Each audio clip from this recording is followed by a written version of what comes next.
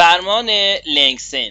از فرمان لنگسن برای تغییر طول موضوعات ترسیمی از قبیل خطوط، کمانها، چند خطی ها و منحنی های باز استفاده میشه.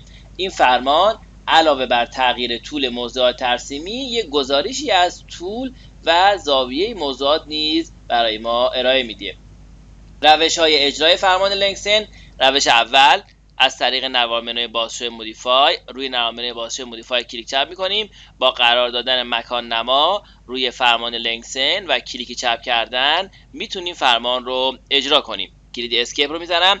روش دوم از طریق نوار ابزار Modify. در نوار ابزار Modify آیکون فرمان Lengthen وجود نداره. اون رو میبایست سفارشی کنیم مثل آیکون فرمان های دیواید و Measure که در فصل دوم خدمتتون گفتم. روش سوم اینی که از Command Line Window استفاده کنیم با اطمینان از اینکه زبان زبان انگلیسی هست حروف L E N رو در خط فرمان تایپ کنیم. یه بار دیگه تایپ رو انجام میدم. حروف L E N. فهرست پیشنهادی فرمان Lengthen رو به ما پیشنهاد میده. با فشردن کلید Enter می‌تونیم فرمان رو اجرا کنیم.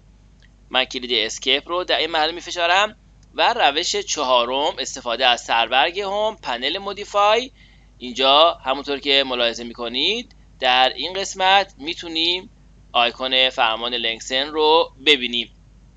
اگر در تصویر ملاحظه کنید فرمان Lengthen برای این پاره خط که طولش چهار بوده اومده این رو به اندازه دو واحد افزایش طول داده. ببینید فرمان لنگسن چهار تا زیر مجموعه داره.